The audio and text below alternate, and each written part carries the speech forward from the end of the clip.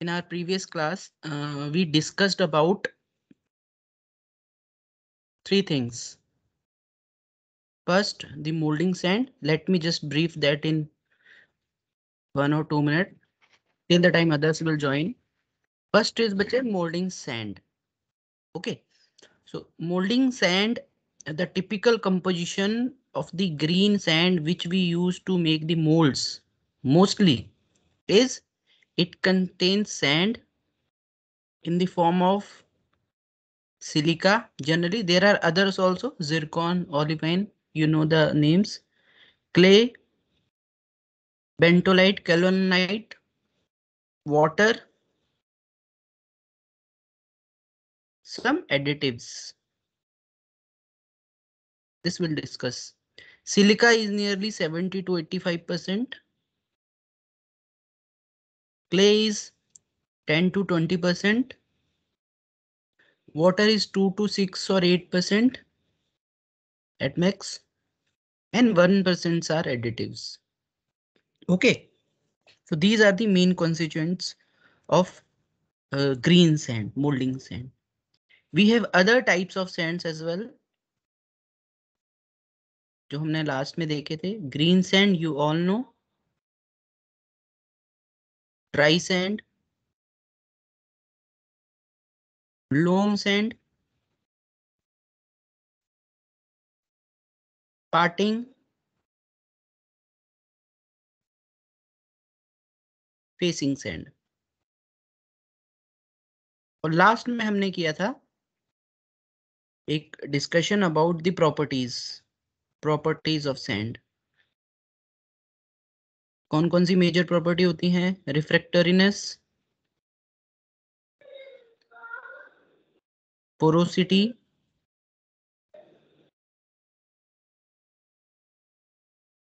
और क्या था? कोहेसिव कोहेसिवनेस एडेसिवनेस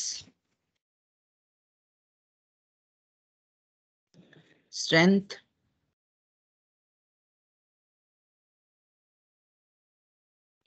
और कौन सी रह गई फ्लोएबिलिटी हाँ फ्लोएबिलिटी और flexibility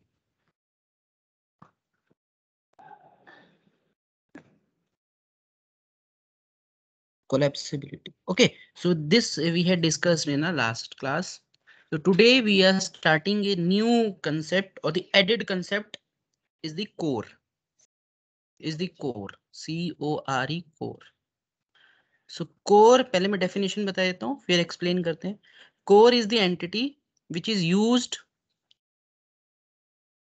which is use to generate use to generate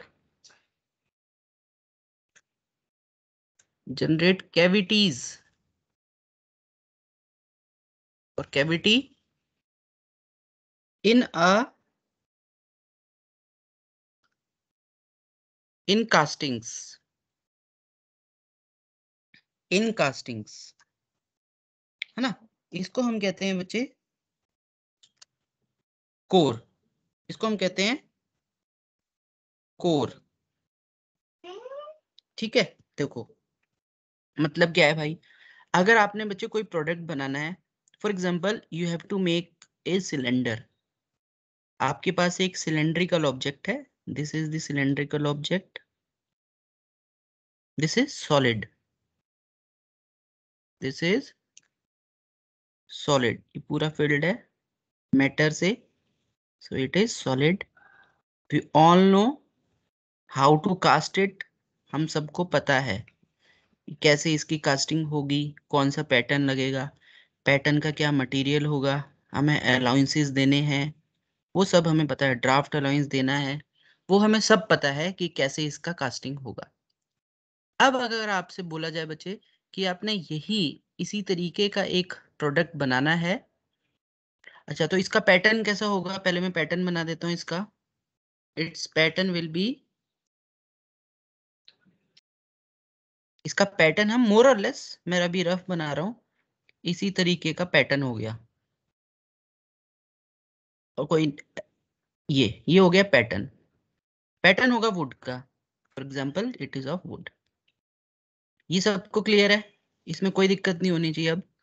This is pattern and this is product अब देखिए, अगर आपसे बोला जाता कि आपने एक प्रोडक्ट एक सिलेंडर इस तरीके का ही बनाना है बट बट उस सिलेंडर के सेंटर में डी डायामीटर का फॉर एग्ज़ाम्पल डी डायामीटर का स्मॉल डी डायामीटर का एक होल होना चाहिए। थ्रू आउट एक होल होना चाहिए। अगर आपसे बोला जाता है ऐसे कि ये बनाना है आपने जिसमें थ्रू आउट इट्स सेंटर एक होल भी होना चाहिए। अगर आप देखोगे इसको तो इस तरीके का लगेगा वो देखने में। ये ऐसे होल है इसके अंदर एक। क्लियर प्रोडक्ट क्लियर है?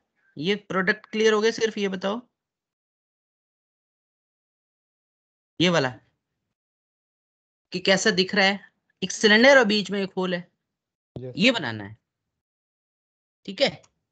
अब आपने क्या किया? अगर आप इस पैटर्न से देखो अगर आप आउटर सरफेस पे जाओगे इसकी तो दोनों का outer surface is same there is not much difference है ना? तो आप इस पैटर्न से, क्या आप इस पैटर्न से वो मोल्ड बना सकते हो जिससे इस तरीके का बनेगा? जिससे इस तरीके का बनेगा? तो अगर आप मोल्ड बनाओगे इस वाले से तो दिस इज़ द कोप मैं बच्चे स्प्रू और राइजर नहीं ड्रॉ कर रहा हूँ।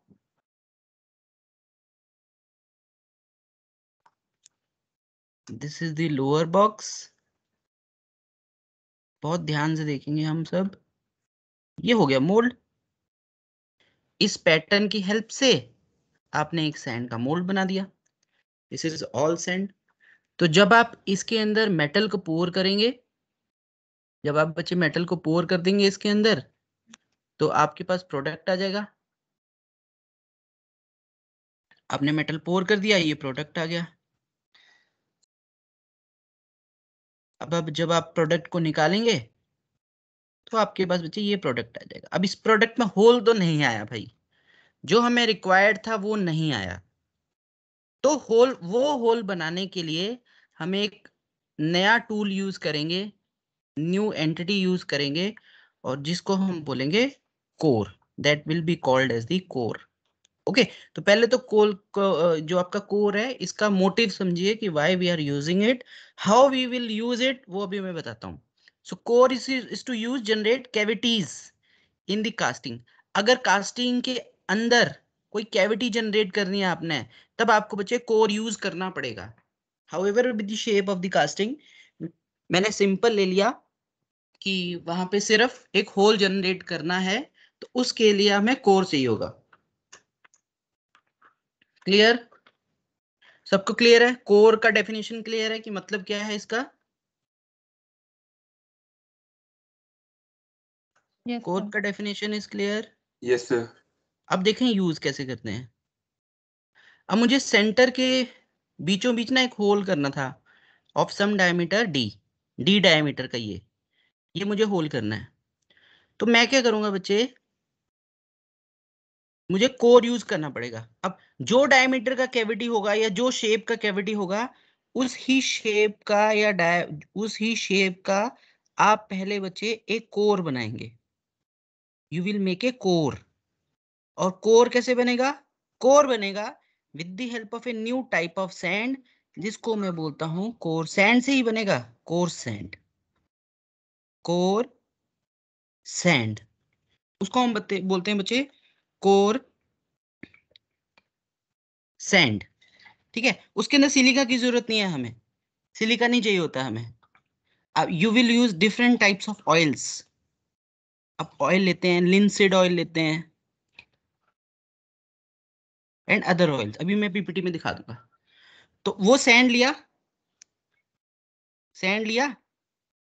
सैंड के अंदर ऑयल वगैरह मिक्स किया।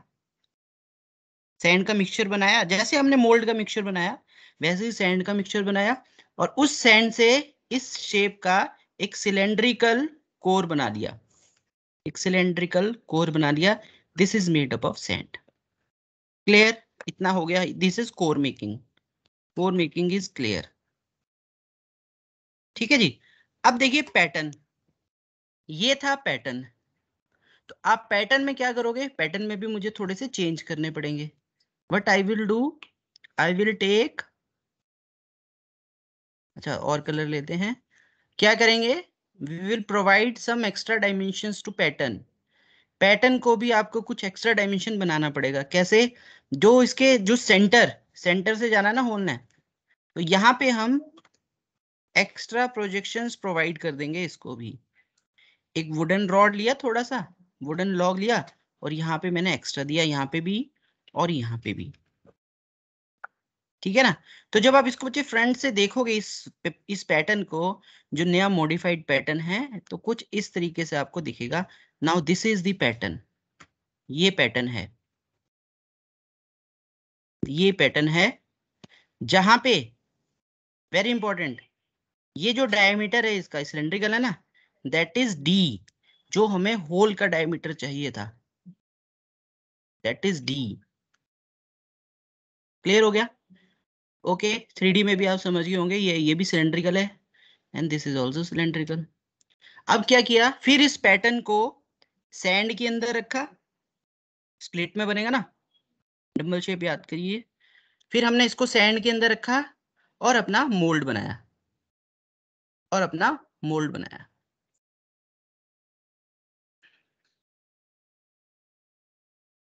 और अपने बच्चे मोल्ड क्रिएट किया। सैंड के अंदर रखा और मोल्ड को क्रिएट किया। It in the sand and will create the mold. तो अब बच्चे जो आपके पास मोल्ड बनेगा पैटर्न निकालने के बाद जो आपके पास मोल्ड बनेगा, वो कुछ इस तरीके का बनेगा। This will be the extra हो गया थोड़ा सा। This will be the shape of the mould this will be the of the mould आ जा भाई this will be the shape of mould mould का शेप कुछ इस तरीके का होगा। ये ऐसे और ऐसे। इज़ इट क्लियर ये बताइए सब। क्या ये मोल्ड बनाना क्लियर है? कैसे बना होगा ये?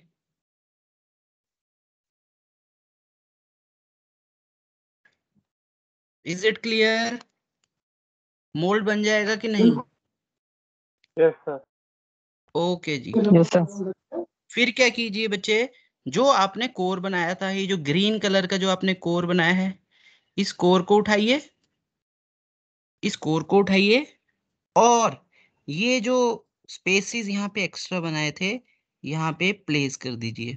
Put it here put it here put it here तो यहाँ पे आ गया है कोर अब आपने कोर रख दिया है।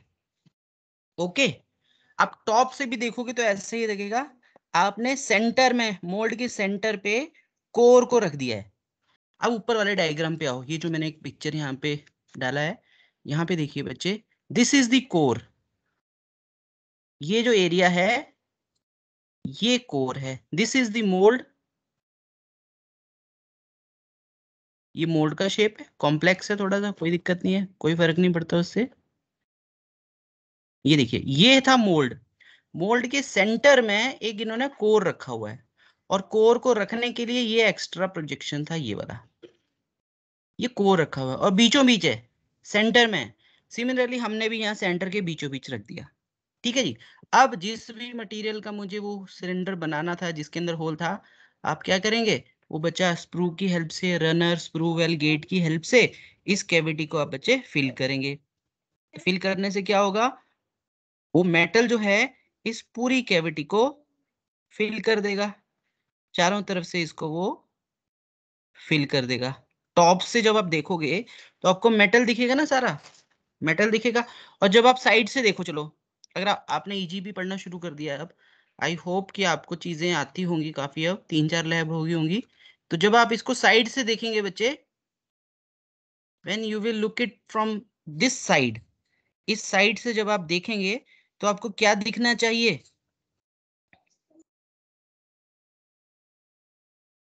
आपको क्या दिखेगा?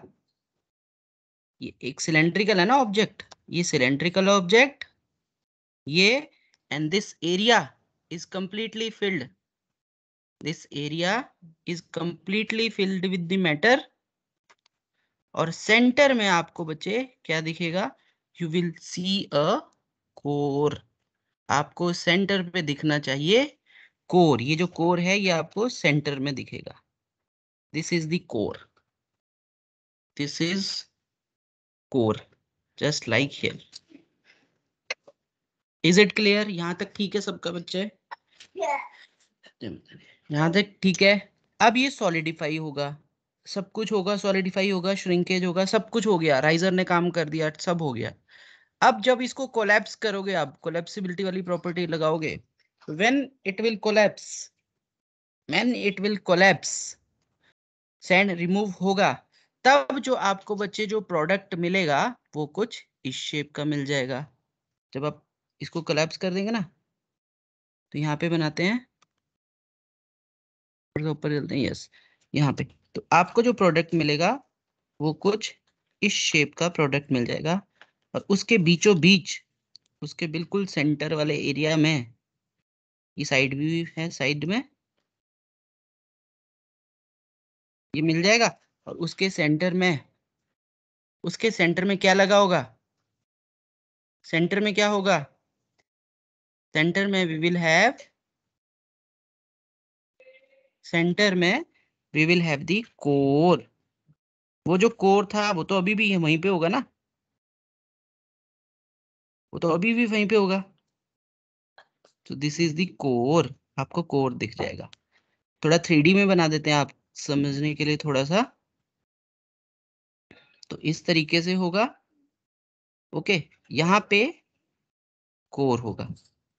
यहाँ पे we will have the core attach to it अंदर दिखेगा नहीं ना तो हिडन होगा। यहाँ पे core attached this is the core attached और इसके अराउंड में पूरे में होगा मेटल इसके अराउंड में पूरे में होगा मेटल फिर अभी कोर किस चीज़ का बना है? कोर भी तो सैंड का ही बना है ना but it is different than the green sand वो जो ग्रीन सैंड था, उससे अलग सैंड का बना है ये। Core is also of sand but it is of core sand that is also a sand वो भी तो सैंड ही है। सिलिका के कंटेंट नहीं है उसमें। सिलिका के कंटेंट कम है। ठीक है? ऑयल्स यूज़ करें। फिर हम नेक्स्ट स्टेप में क्या करेंगे? इस कोर को ब्रेक कर देंगे और रिमूव कर देंगे।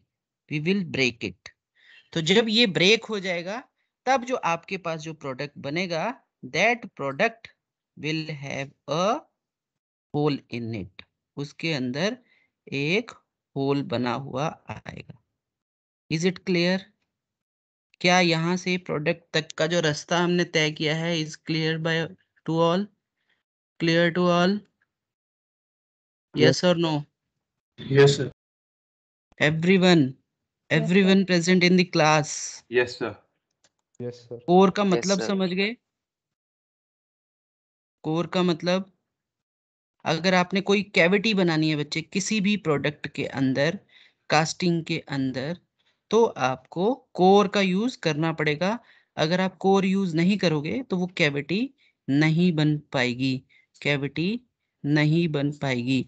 This is the product we got. So, it is done with the help of core. It is done with the help of core. With the help of core. ठीक है जी? आप देखिए। ये सबको समझ आ गया। गुड अब नेक्स्ट करते हैं। Let me just erase it yes अब देखिए, अब मान लीजिए बच्चे, जो होल बनाना था आपने, ये जो कास्टिंग है हमारा that is of very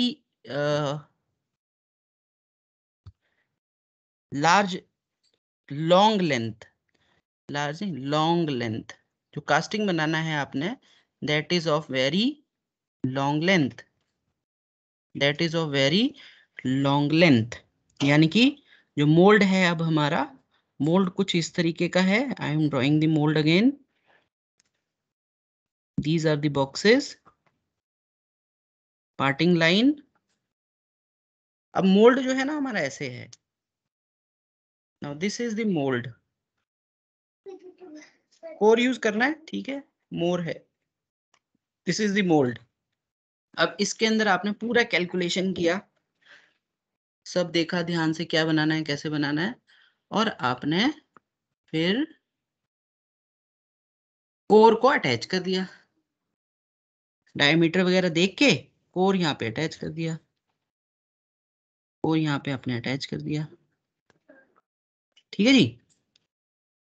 ये हो गया। प्रॉपर तरीके से सब किया। जैसे ही बच्चे बट हुआ क्या? जैसे ही बच्चे आपने उसके अंदर मेटल को पोर किया तो जो आपके पास प्रोडक्ट बना प्रोडक्ट बनना चाहिए था कुछ ऐसा। This is the hole this is the hole ऐसा होल चाहिए था रिक्वायर्ड